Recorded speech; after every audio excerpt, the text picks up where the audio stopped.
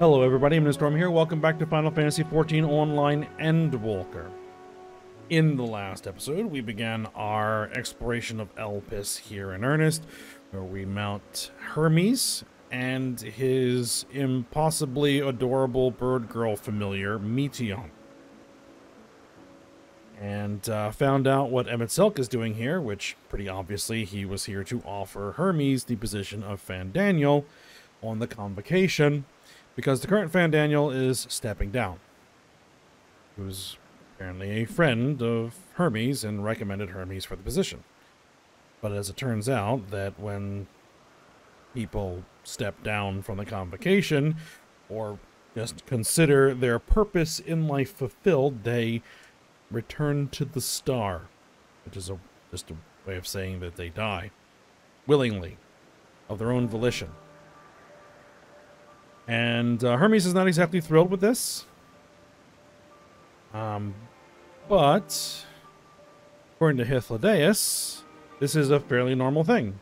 And um, is even celebrated that someone has reached the, uh, the culmination of their life and has decided to, you know, that they're done. So, um, this is why Hermes is a little bit uh, hesitant to take this up, as it, represents kind of a tacit approval of his friend's death. And um, he's still thinking about it. And while he's thinking about it, we're going to be following him around and seeing what his duties are on a regular basis. And that actually led us to a patch of Elpis flowers, which were described as Entelechies by Meteion, who also described herself as an Entelechy because she also has the power to communicate via emotions, both, you know, projecting her own and reading other people's. And this is where Fan, not Fandaniel, Hermes, he's not Fandaniel yet, um, basically confirmed Nidhana and the Thavnairian alchemist theory about Akasha, that there is this separate energy that exists apart from ether that is governed by emotions.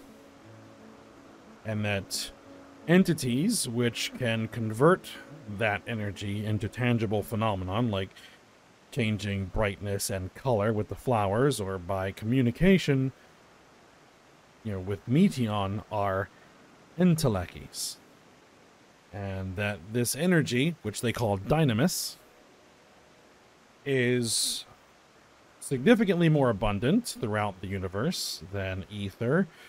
And so if something were to say uh, able to direct this into what you, you know turn it from a you know a gentle stream into a raging river, it might be able to burst through the dam of ether that protects the star. Because ether basically negates dynamis. And um, that's sounding rather familiar. So we're getting some, some clues as to what might be going on with the final days. But we still need more info. We're going to keep following um, Hermes around and seeing what else that we can learn here. And so that is what we are actually going to work on. Now, uh, currently what we have to do is go find Hermes, who is off uh, trying to see what's going on with a creation called the Charybdis that is having some trouble. So, uh... We're gonna head over there.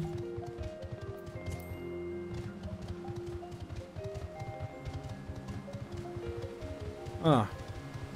These things. Alright, Meteion. Let's see what you have to say. Why is this one blue and shiny? Troubled observer. Ugh, forgive me. I thought another member of the convocation had come. Uh, this is turning to be, that'd be an eventful day. Hythlodaeus. There's a slight difference in etheric balance between these Charybdises. For this, it may be assumed that they aren't the original creations, but their offspring.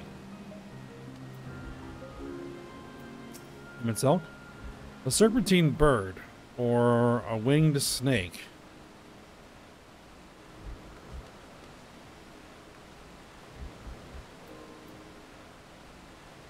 All right, Hermes.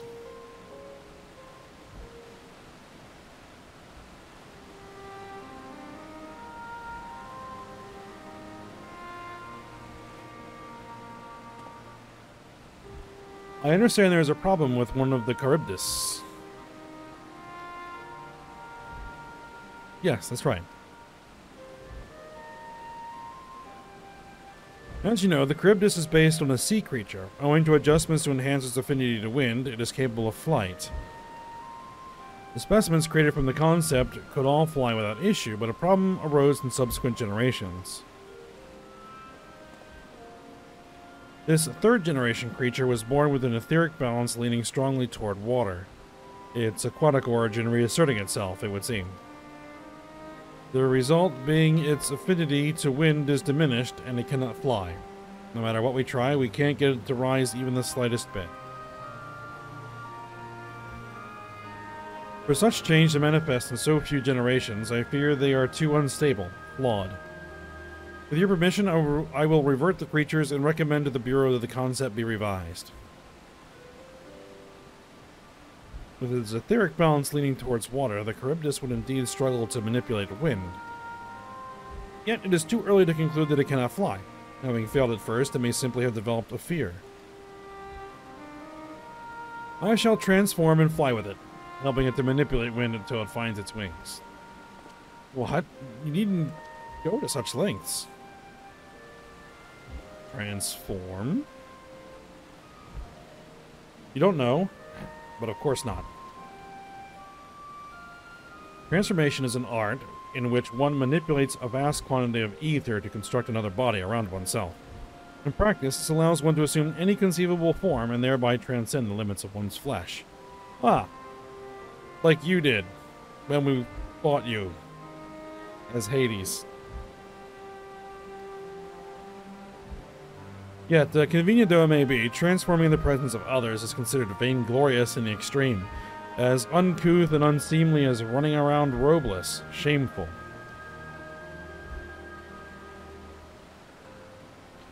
Might understand you make a habit of this.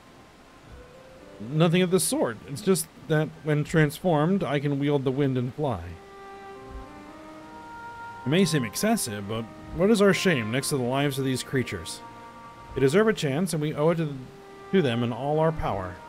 Or to do in all our power. Be that as it may... Hmm... Hythlo? Yes, I believe I have a solution. Emet-Selch, may I trouble you to move that Charybdis away from its fellows, somewhere out of sight?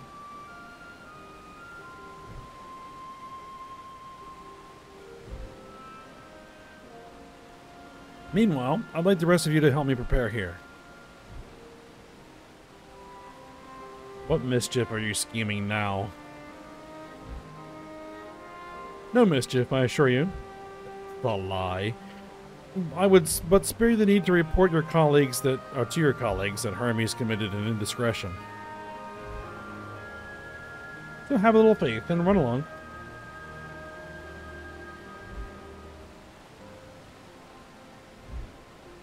I trust you don't mind.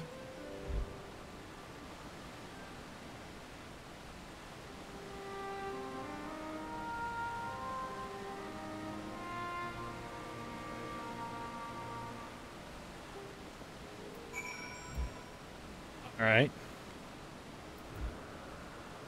Comments? We must help the Charybdis to fly, or else they will all die. What do you think of this? Such bother when we could simply begin anew, but I shall defer to the Chief Overseer. Hermes. Hythlodaeus is a man of ideas. I wonder what he has thought up this time. Alright, Hythlo. What, uh, what mischief are we planning? Emet-Selch is out of sight? Good. Let, let's speak of the plan. It's a stroke of genius, really. We have Emet-Selch train the Charybdis. Aside from being able to fly untransformed, he can readily see ether currents.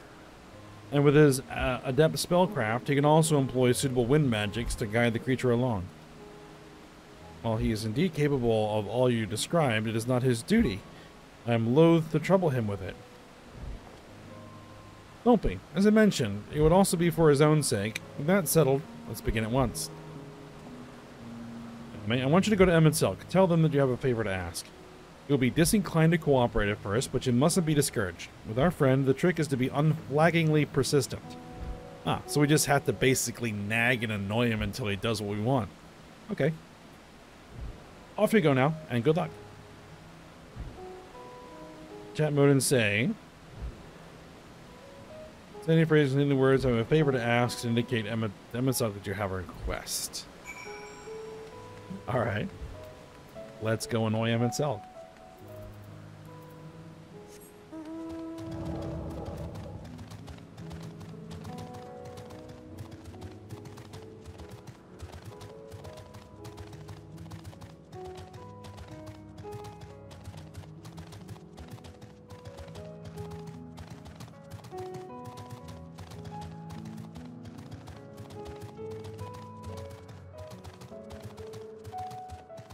he did take this thing far away, didn't he?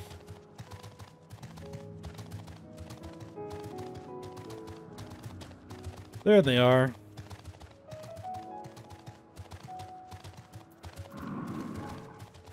All right, Emet. Uh, let's see. I have a favor to ask. Oh no. You don't. I'm not lifting a finger. I don't know what Hythlodaeus is up to, and I will not be made to know. I refuse. If Hythlodaeus is to be believed, relentless insistence may serve to wear down the ever-weary Emet-Selch. The chat mode and say, into the words, please, Emet-Selch, to plead with him. All right.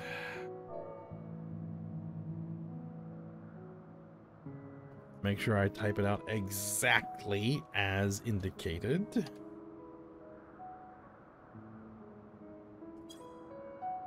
There we go.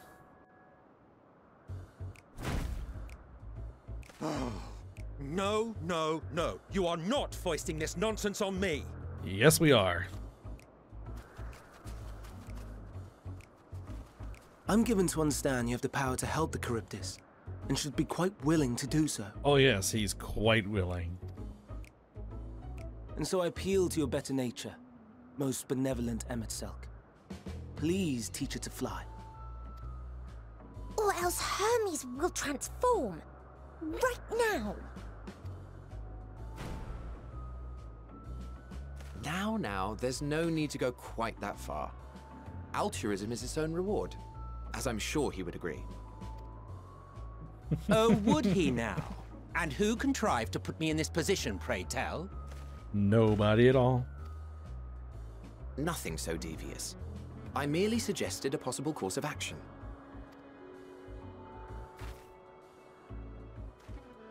Four on one. Please, Emet-Selch. Please. Oh.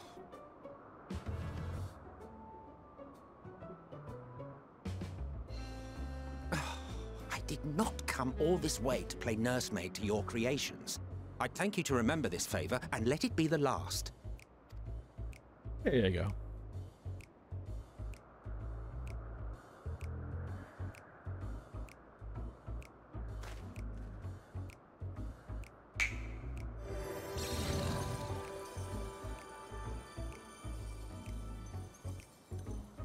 Nice mount.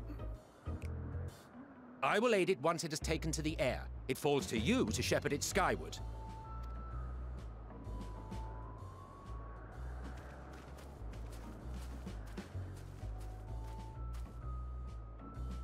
Well, let's relax and enjoy the spectacle, shall we?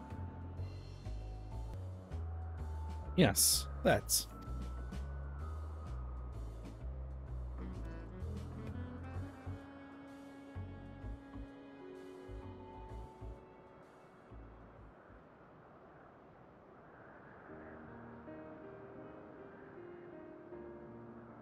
Were wondering why Emet-Selch joined the convocation. Truth be told, he wasn't the first choice for the office. I was, on the strength of my ability to see ether. But I declined the offer. For though my vision is exceptional, I am pedestrian in all other aspects. Worse even, quite abysmal when it comes to manipulating ether, for example. Couldn't transform even if I had a mind to do so. What good is the ability to perceive a problem if one cannot act to address it? Emet-Selch has no such shortcomings. He excels in vision and manipulation both, the latter to an extraordinary degree. If there is a mage more powerful, I do not know of them.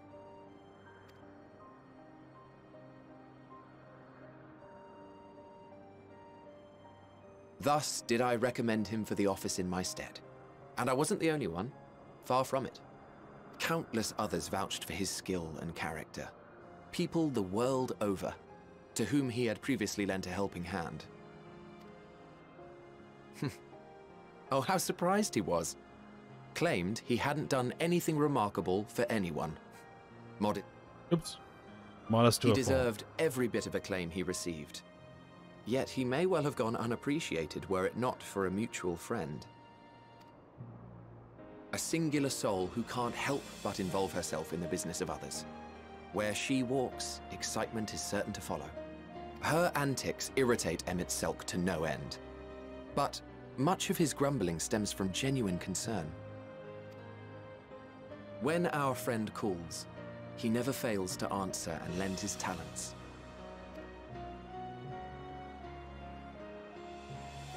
And in the course of doing so, he himself came to be recognized and respected by those around him. they are truly remarkable individuals, and I'm proud to call them friends.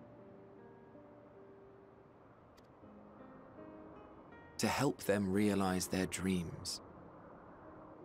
This will be my greatest contribution to our world. And when they have fulfilled their respective purposes, so too shall I have fulfilled mine. And together we may return to the star. Look at me, spilling my innermost secrets. I can't seem to help it with you. I can only assume it is due to the color of your soul. I just don't understand how you can be so alike and yet so different. Well, that's a long story.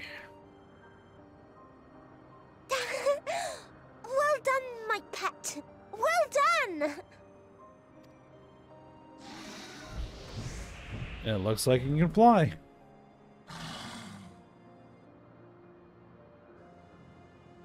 Ah, yes. I dare say the Charybdis will be fine here on. Why don't you go and signal to Emet-Selch? Let him know that his arduous task is at an end.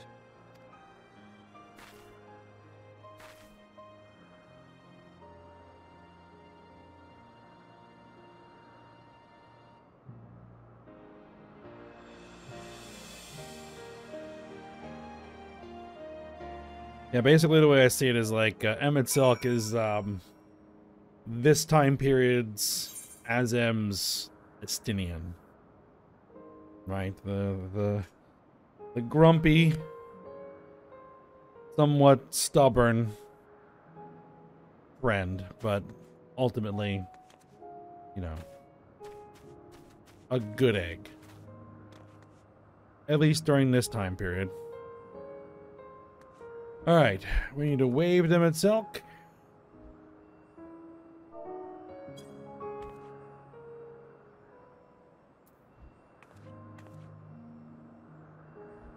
Emerging from his reverie, Emet-Selch notices him begins to descend with the Charybdis. You know, but 12,000 years of bearing the weight of an entire civilization, I guess, can take its toll.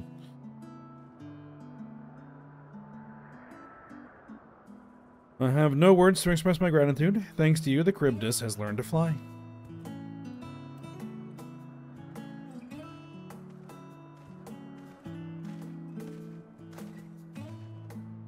And uh, Yame and I could relax and have a pleasant chat. I'm sure you did. The creature needed some small assistance at first, but soon it was flying more or less on its own. I doubt you will need to repeat the lesson. Was truly impressive. Huh. I witnessed it all from afar. The Charybdis flies. Indeed. For this, we've proven that even a creature with skewed etheric balance is capable of flight. Though we helped it to achieve this, the Charybdis is a herd animal. They may well aid their struggling kin in like fashion, fashion if and when the need arises. Keeping this in mind, I bid you continue observing them. If that is what you want. But if I may say so, rather than hoping an idealistic possibility comes to pass, would it be simpler to have the concept adjusted? That way, we could guarantee that anomalies such as this specimen are never born in the first place.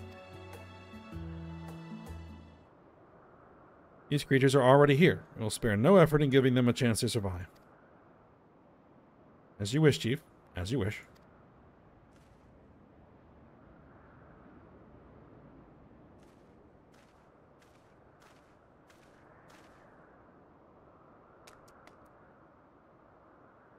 Hermes.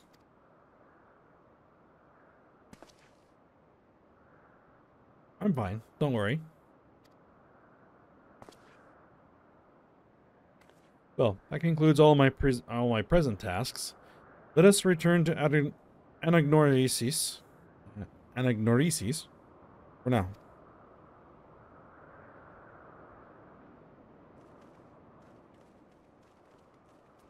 It's a bit of a tongue twister. Alright. So back there and speak with them at Silk. So let's go ahead and teleport. Fastest way to get there.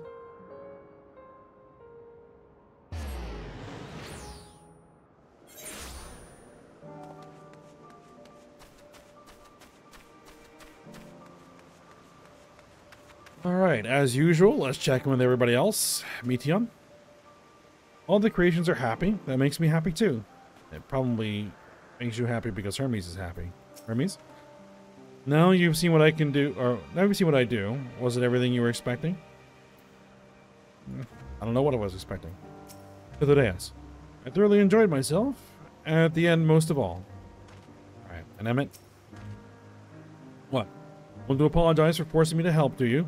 Absolutely not. Save your breath. You didn't force me to do anything. I merely chose the most ex expeditious way to have done with an impediment to our business. Sure you did. That's what you need to tell yourself.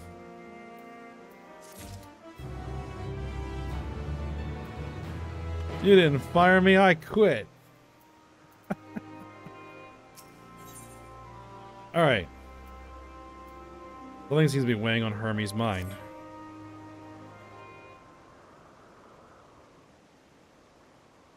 Tell me, Yame, in the course of watching me, have you learned aught of value? Hmm. Dynamis. Dynamis seemed promising. Yes. Dynamis, you say? Curious that such an obscure phenomenon should be of interest to you.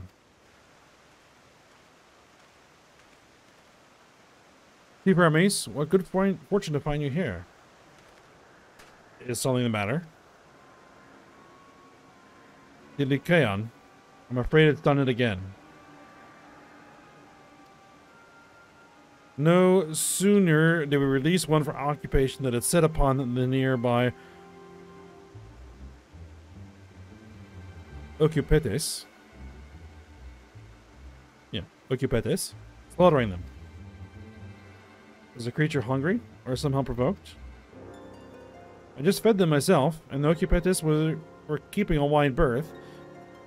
It is the nature of the Lycaon that is to blame. Their innate viciousness. Compliment aside, it is an outstanding creation, perfect in form and function. Though it may not be suited for release, I have no doubt that the Bureau will accept this concept for preservation. In any case, there's no point in postponing the inevitable. Doros will revert them all once the paperwork is in order. Where's the scene of the incident?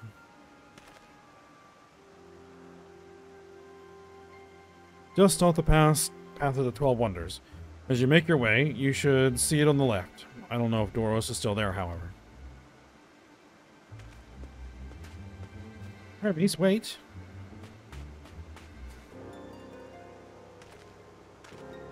He doesn't like having to destroy the creations. If this is part of his work, then I would observe. We follow.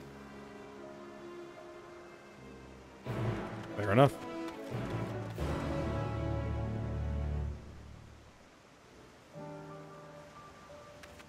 And we shall follow.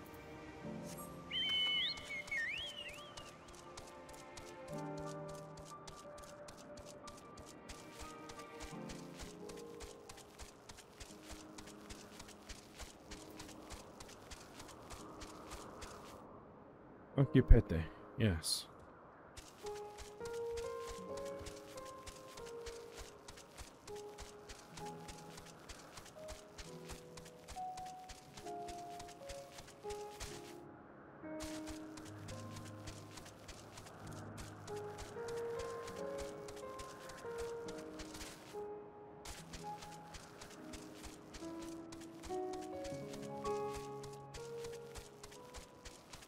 And there they are. And yep, it killed a whole bunch of them. Damn it. A fearsome beast, this Lycaon. Where is it now? The Occupete is no easy prey. With its hooves and horns, it was designed to be form formidable even on land. Yet they didn't stand a chance against the Lycaon. Meteion. It's heavy. Hermes pain.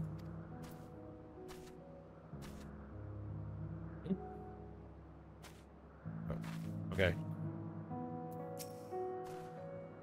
The lacerations and burns are unmistakable. Lycaon was indeed responsible. The creature is nowhere to be seen. Doros must have taken it away. The man makes his base at the Twelve Wonders. I shall go and seek him out there. Emet-Selch and I will search the area for good measure, just to make sure the Lycaon did not escape. No thanks. Let's meet at the Twelve Wonders when you are when you have finished. I will go ahead. Please follow with Ayame.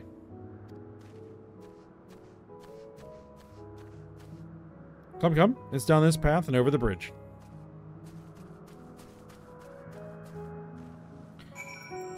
Then. Do the Twelve Wonders.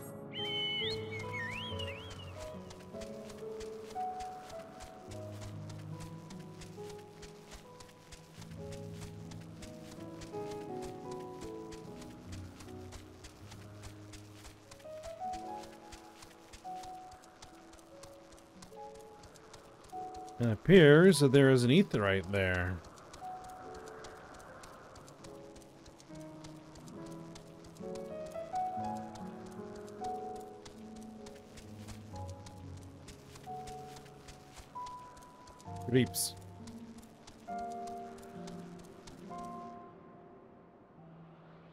I hear ether current.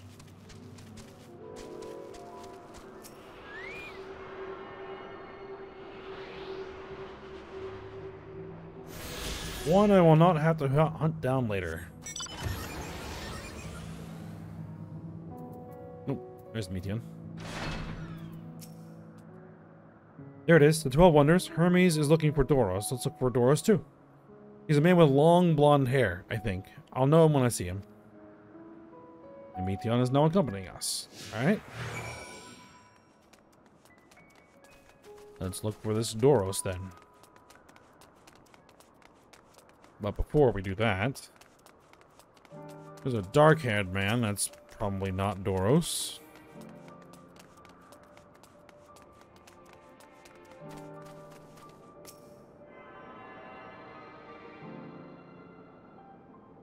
There's a blonde-haired man over there. With a ponytail. Doros, that's Doros. Oh no, if it isn't Meteion, what brings you here?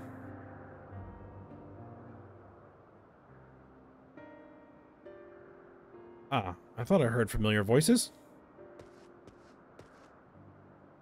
I didn't realize you two had decided to help me search for Doros. Thank you. You're in charge of the Lyconis. No, Lycaonis? I believe. Where are they now? Out in the fields and restraints. Frenzied as they were, I couldn't well return them to Catesis. Once I've submitted our report, I'll see them reverted without delay.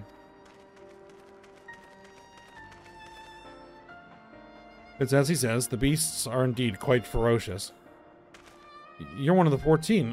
What brings you here? Nothing you need to concern yourself with, as you were. We've heard the news that Lycaon slaughtered Occupates.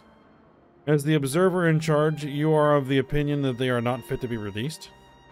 I am. Their abnormal aggression and exceptional strength makes for a highly problematic combination. It matters not where they are released.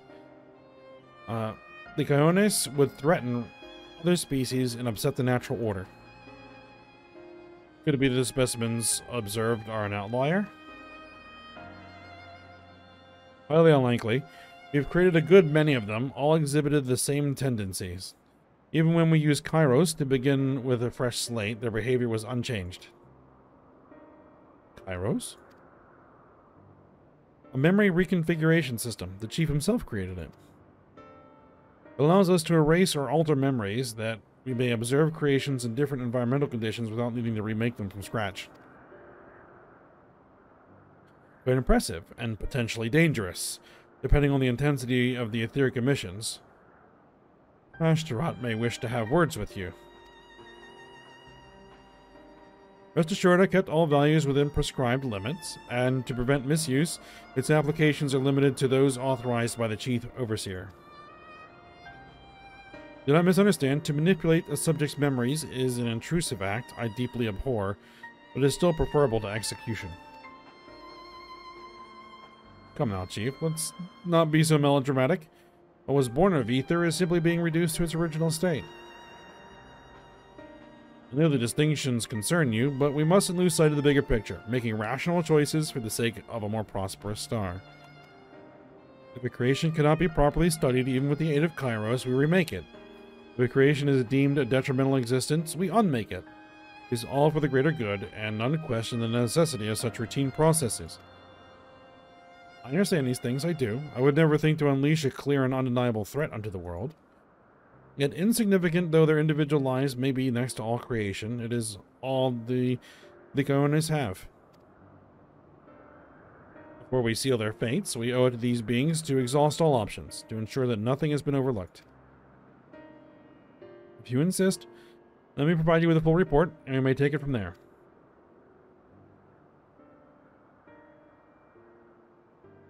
Would it be possible for us to attend the discussion, that Emet-Selch may better carry out his duties? By all means. Pray, show them to the meeting room.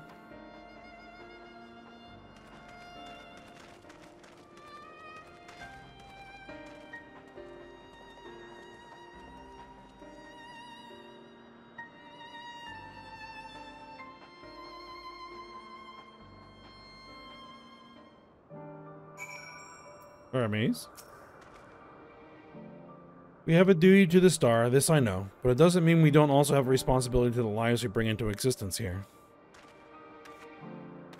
Alright, Meteion. Man, other beings are just things, to be used and controlled, like magic. That's what Hermes told me once.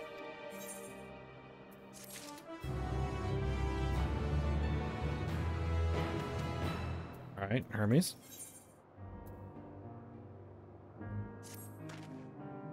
I fear this discussion may take a while, during which time...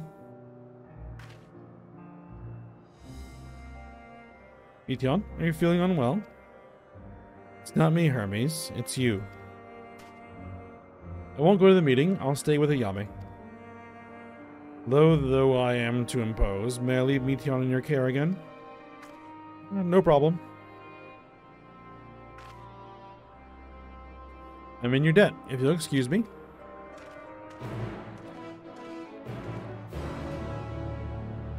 All right. What do you want to get up to? Can you help me with something, Ayami? The meeting will make Hermes sad. I want to cheer him up with a flower. Hermes likes flowers the most of all creations in Elpis. Most creations are expected to be interesting, or beautiful, or strong, better in some way. The flowers are different. They're designed to suit our emotions, what we feel want to convey. Like Hermes likes that. I can't make flowers, so I'll search for one. I want to search want you to search with me. Let's start here at the Twelve Wonders. Alright. He's now accompanying us. And let's see what we got.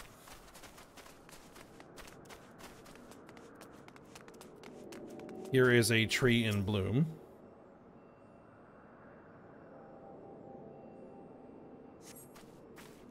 Vibrant purple flowers bigger than your hands adorn the tree. Ooh, so big and bright. I love them. They might be too bright. I have to think of the recipient. That's what Hermes said. Alright. Let's see what else there is. There's a slender tree. I don't think that's what we're looking for, but we'll look at it anyway.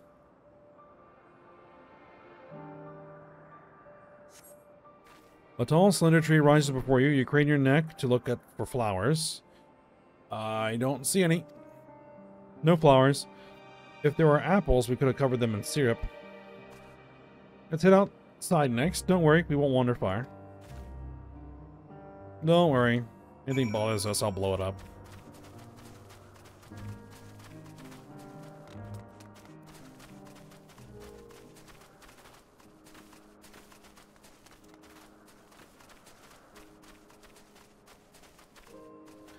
Flower bed.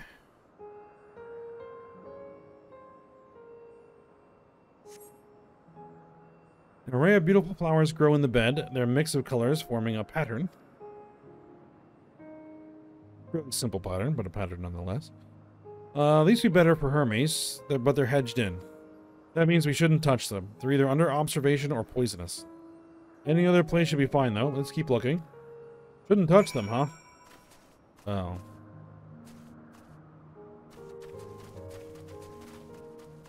see about that. A familiar plant. Oh, yeah. One of these things. Sit on a tall, thin stalk, the oddly shaped flower is mesmerizing in its undulations. Ooh, a coneon. A coneon. A flower that can move. And Hermes wasn't looking and shot seeds at him. Not a good gift, maybe. But you're good at Yummy, at spotting flowers. We'll find something soon. Alright. Next. Yeah, don't want to mount or can't mount.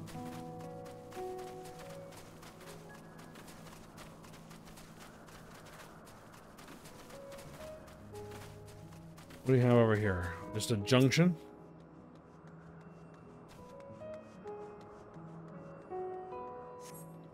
You spy nothing promising nearby, at best common-looking grasses with some few tiny flowers. Hmm, nothing around here. Ah! Over there, Yummy. Something big, huge. oh, a morbol? Malodorous grass.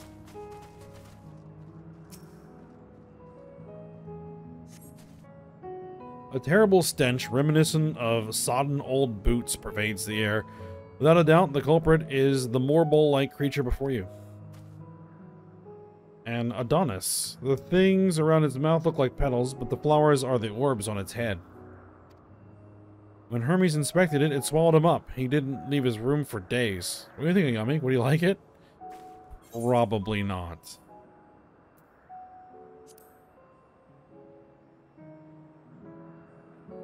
So not this one either. Finding a good flower, it's harder than I thought. I'm sorry, Yami. Could we search a little more? Maybe as far as the fields over there? I'll pick something after that, I promise. Alright.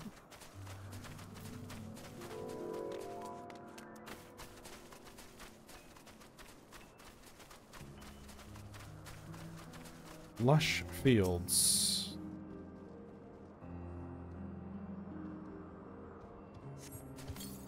Lush green fields stretch out before you, ending where the sky begins. Oh, there's nothing. Hmm, the shiny thing over there, what could it be?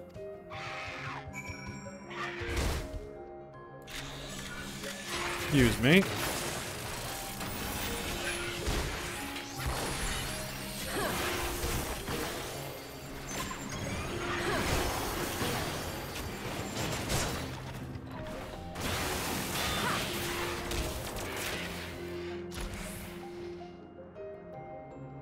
Now, where were we? Tiny object. Ah, Elpis flowers.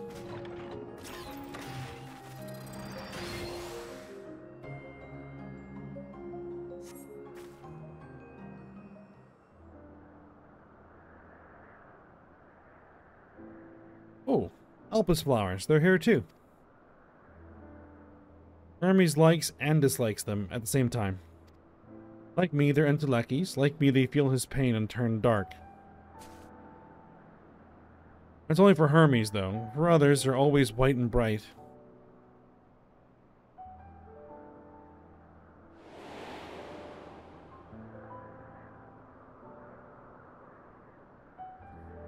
We've seen them in different colors. Truly, the flower was dark in your home? Then do you have it too? A dark emotion? Hmm.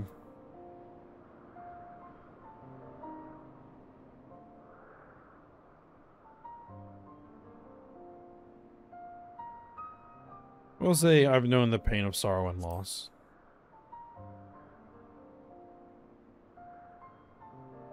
I see.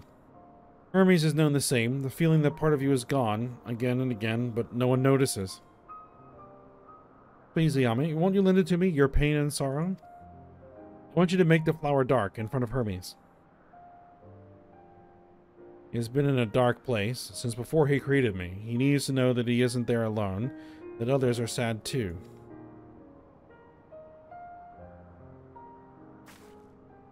Really, you'll do it?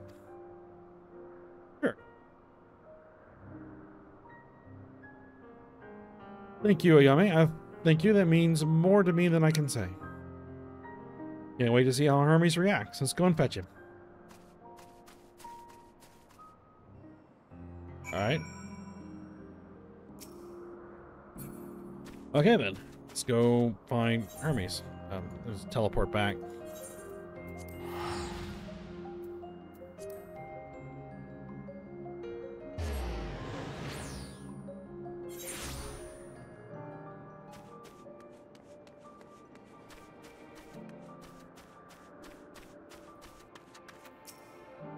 Seems they're still talking. Let's wait until they've finished.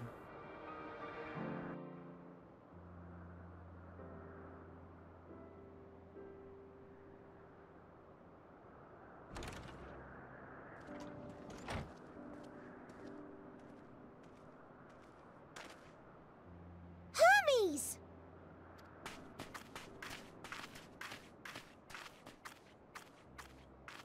Oh, you were waiting for me.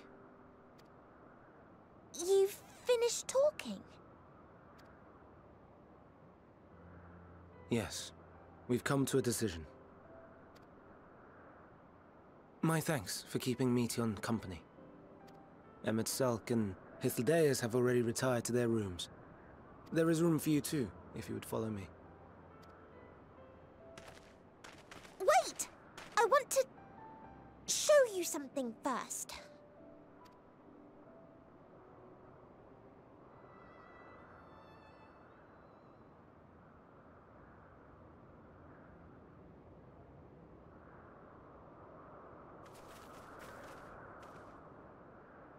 Elpis flowers? Go on.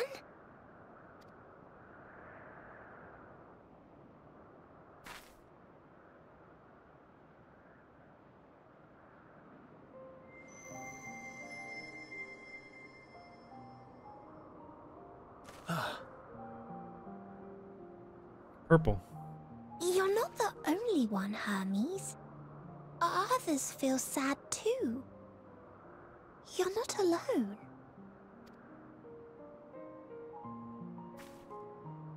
I see Mission has shared much with you. She has.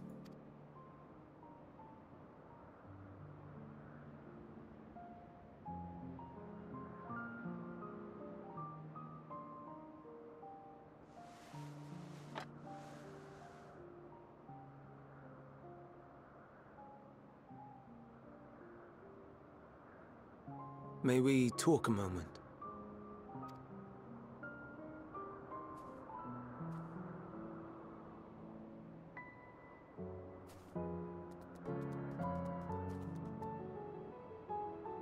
Little hedgehog.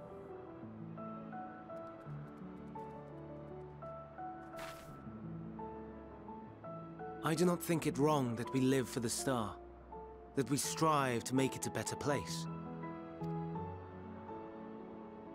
And yet, in carrying out my duties here, there are times when I am plagued by doubt. Do you recall what Hythlodaeus said when we first spoke of my nomination? Death is the privilege of those who have fulfilled their purpose, a choice they embrace of their own free will, and when they depart, it is always beautiful. Perhaps it is, but only for man. Creations that he deems useless are discarded with nary a second thought. Some scarcely born into the world, afforded a handful of breaths before life and potential are abruptly extinguished. We make an effort to spare them the pain, but they sense what awaits. Rage and anguish and cower and fear. And it is not beautiful. Yet no one cares. No one. So fixated are we upon the duty that we do not pause to question the method. Pain and suffering, confusion and despair, writ plain in the eyes of those poor creatures. Yet no one sees. We turn a blind eye and carry on in blissful ignorance. Not amiss. And always, always the blossoms shine pure and white. A contradiction so blatant I could scream, want to scream. How can you all accept this aberration? Then I wonder, am I the aberration for thinking thus? And I am filled with dread. But now I know I'm not alone. Not the only one for whom the flowers weep. I won't ask what you thought as you kneeled beside the Elpis. Or if you only did it at Meteion's insistence. Nevertheless, I thank you. To know that you too have experienced suffering is a comfort.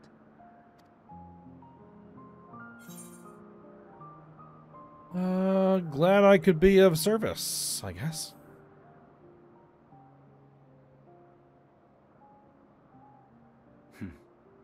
To so willingly lend an ear to ease my burden. You are a strange one.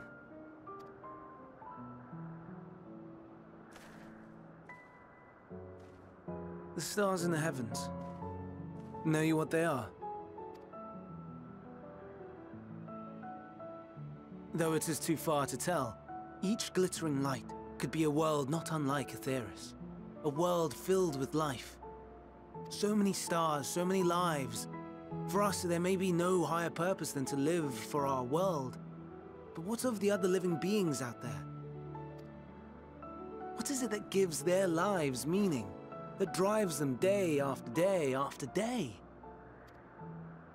To pose that question to our undiscovered cousins, I created beings of Dynamis, who can traverse the vast emptiness between the stars.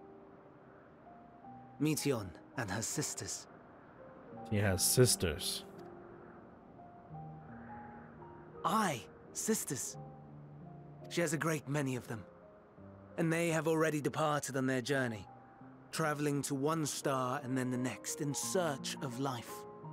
As one might expect, Exploration on such a grand scale is rife with difficulties, and thus far I've naught to show for it. But I have faith that we will make some manner of discovery ere long. And when we do, I should be glad to share our findings with you, in gratitude for your kindness.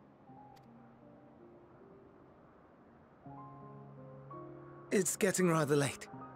We had best find our beds. Would not do for both of us to be sleep deprived on the morrow. Come, Meteion. Let's head back.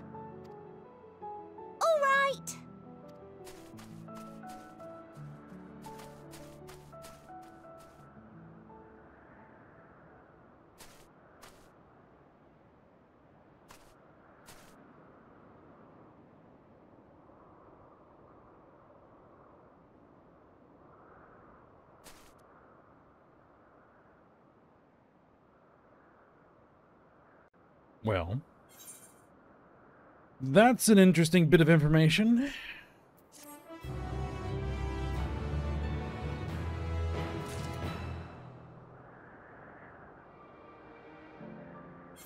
And given what we know, it's likely that whatever discovery is made doesn't go to as expected. Alright, Meteion. I'm glad Hermes saw the flowers. Thank you, Ayame. It will help, I hope. Today will be difficult for him. Alright, Emet-Selch. The prodigal familiar returns, and after causing all manner of trouble while we were in our meeting, I'm sure. Nah, not that much. Hythlodaeus? Were you able to get some rest? Please, do not hesitate to let us know if you're feeling tired. I worry we might exhaust your scarce reserves of ether. Nah, no big deal.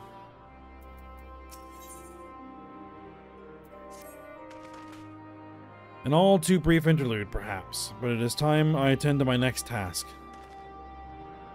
As Emet-Selch and Hythlodaeus were aware, we reached a verdict regarding the fate of the Lycaones. Seven were created for observation, and all seven must be unmade.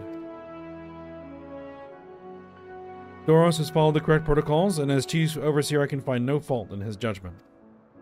The would disrupt the natural order, ravaging and consuming other species until they themselves starve and perish. They cannot be released into the wild, and they cannot be allowed to remain here in Elpis.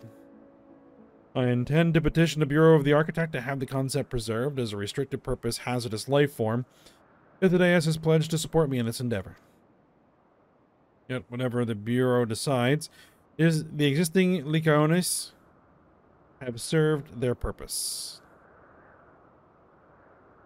Doros has already isolated the creatures and is preparing to carry out the necessary measures.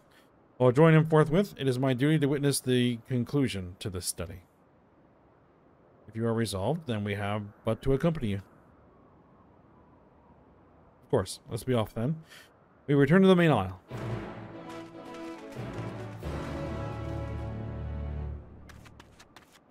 Alright. We can keep on proceeding.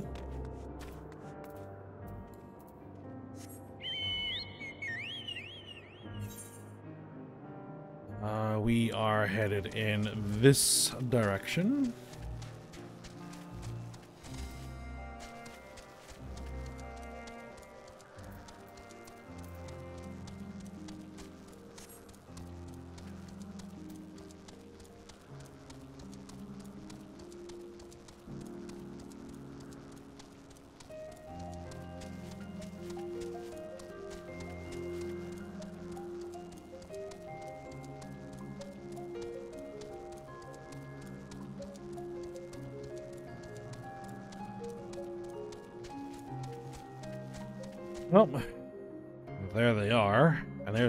Doros, and he looks a little worse for wear.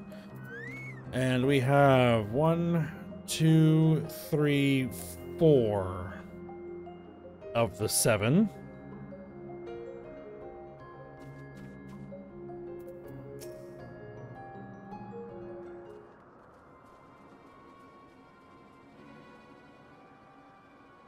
Doros, are you hurt? What happened here? They they caught me off guard. I had them bound with ethereal shackles, but they became frenzied, even more so than usual, and broke free. I was able to stop four. The other three escaped.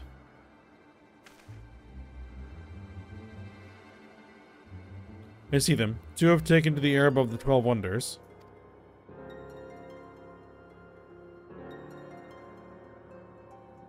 The last is up ahead, lurking in the fields. You and Ayame handle that one. The pair in the sky you can leave to me. Sure thing. If this is how it must end, then so be it. Yeah, they're a danger to everyone and everything here. I will render assistance to Emet-Selch, unneeded though it is.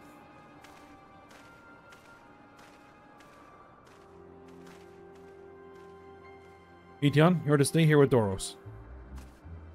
But Hermes, the Lycaones must be reverted. I would spare you their pain and mine.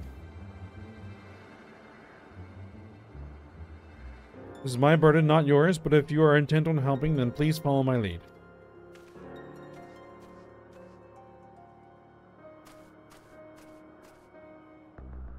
Alright.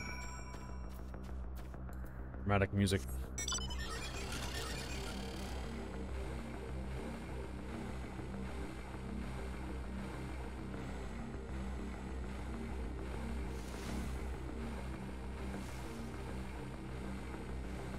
And there is one of them.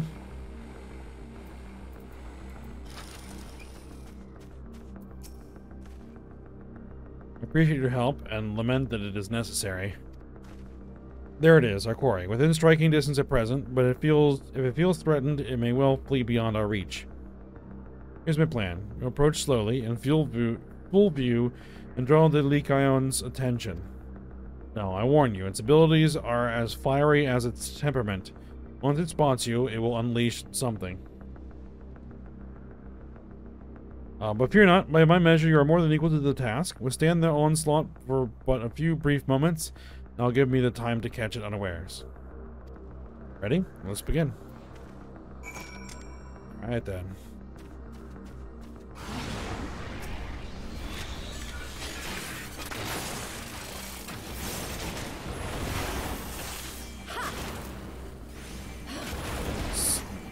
Using fireballs, alright.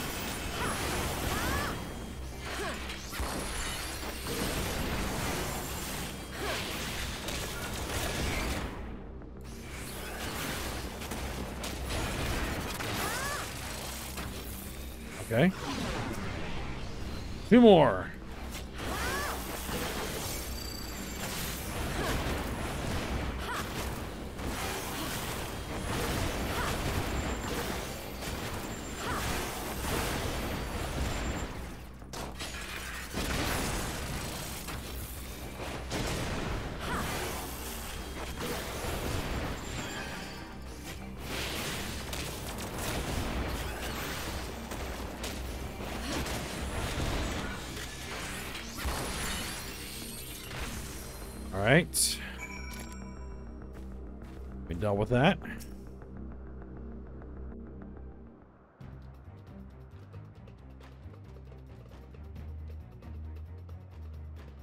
Now.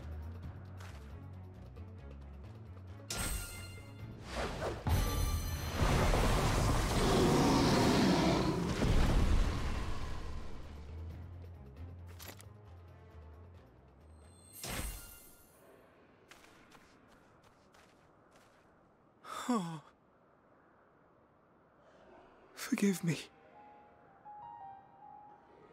Please, forgive me. May you and your kin find peace.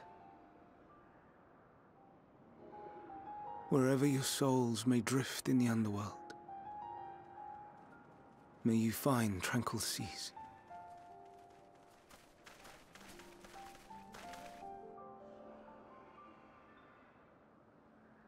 Be not forgotten, in concept endure to reclaim form and one day live again. Serve not the star, or any purpose save your own. Live again, if that be your desire.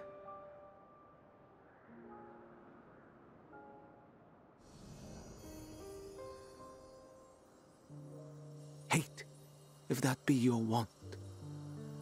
We are worthy. But leave your suffering behind.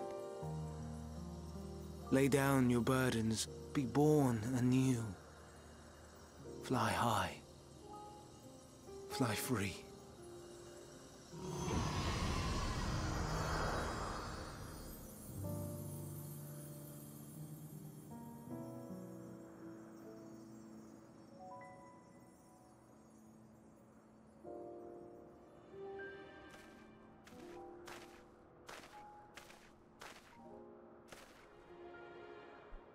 Join the convocation, Hermes.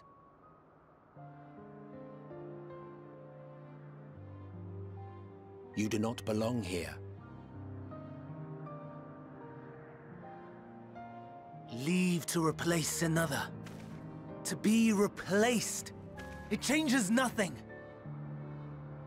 Tell me, do you think it right that we sacrifice all these lives for the sake of the star? And when the star has reached perfection, what then? If all who are satisfied choose to die, shall we all die in satisfaction?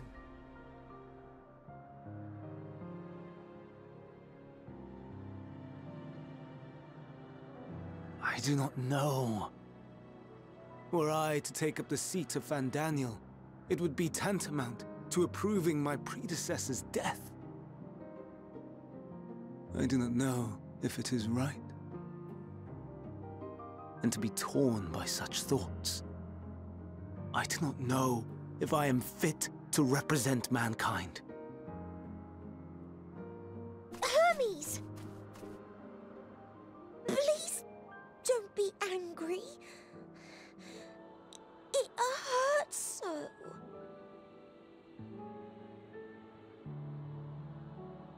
Forgive me. If you would still consider me in spite of everything, I beg some time to gather my thoughts. Meanwhile, Hythlodaeus, I fear I must trouble you to attend to the others. Tis no trouble at all. Take as long as you require.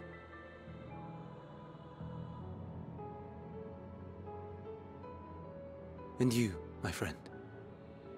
I pray you find that which you seek.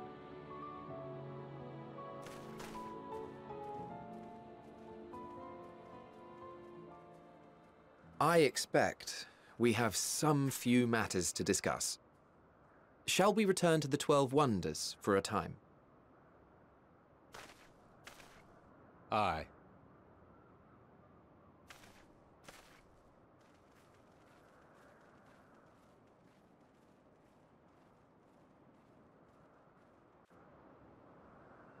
Yep, he seems deeply conflicted about the very society in which he lives and how it operates. Alright, Hythlodaeus. It's been quite exciting, quite an exciting visit for you thus far. Oh, you weren't injured, were you? Good, good. No, we're fine. Uh, the other Lycaones have been taken care of. The incident is resolved and life in Elpis continues as normal, or ends, as the case may be. Rationally speaking, I understand Hermes' argument. No matter how well deserved the rest, there is a pang of sadness when a colleague leaves us. Yet, never has a departure caused me such grief as Hermes appears to feel. What must it be like to experience such torment?